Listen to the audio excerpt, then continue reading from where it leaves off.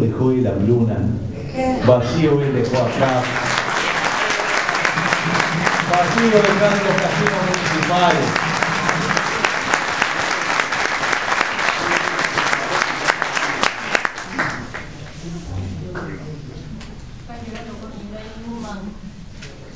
Tenemos que ser conscientes de algo. En la economía uno no puede quedarse quieto. Si uno piensa que en materia económica ya llegó, los cambios lo comen. Entonces hay que estar todo el tiempo anticipándose a los problemas, asegurando el crecimiento y sobre todo asegurando la distribución. Porque de nada sirve subir los salarios si más aumentan, si más aumenta el costo de vida. Porque por un lado reajustan los sueldos y las jubilaciones en enero, pero enseguida empieza a subir la fruta y la verdura la feria de la almacén.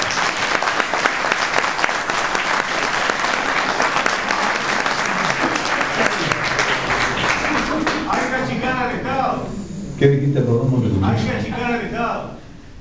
Hay que achicar el Estado. Yo creo que hay que achicar los cargos de confianza en el Estado, que gastan 48 millones de dólares por año. 48. Exactamente el doble de lo que se gastaba en el 2004. Yo me pregunto, ¿se necesitan más cargos de confianza en el Estado o se necesitan más maestros más investigadores?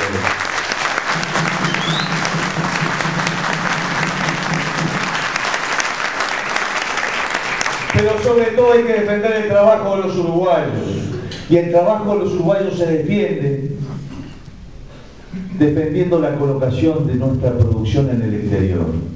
Esta zona del cerro fue una zona pujante en la época de los frigoríficos. Aquellos frigoríficos, los cuales se recibía el ganado, se trabajaban, paraban los barcos y llenaban de la producción que iba a colocarse a otros mercados.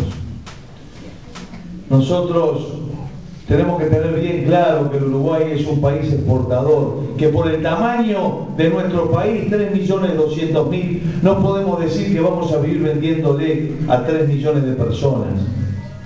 Somos muy pocos.